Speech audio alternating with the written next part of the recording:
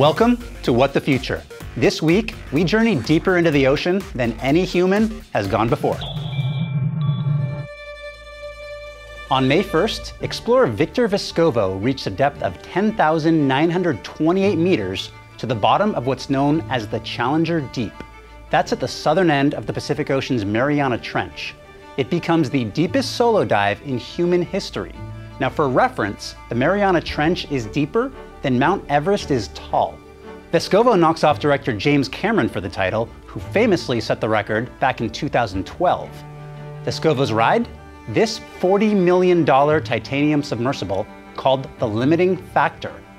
It's just the third submersible to ever even reach what's known as full ocean depth. So, what makes the limiting factor so unique? It can make repeated extended dives in a short amount of time.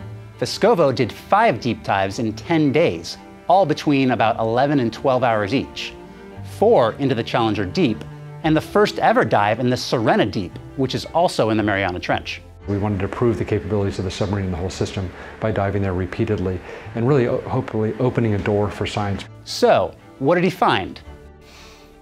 Plastic. Yes, even in one of the deepest places on Earth, Vescovo says he spotted a plastic bag and candy wrappers. In most of the deeps that I've been down, I've seen contamination of plastic or things I can't even recognize, but they're definitely man-made, which is really unfortunate. But luckily, it wasn't all depressing. He found four new undersea species that he brought back with him. Scientists think they could give insight into the origins of life on Earth. This is all part of the Five Deeps expedition, a project to explore the deepest parts of the world's five oceans that will be featured in a Discovery Channel series later this year. Now, the Challenger Deep was first explored in 1960 by two oceanographers in a submersible called the Trieste. Next up for Five Deeps, the Tonga Trench in the southwest Pacific Ocean.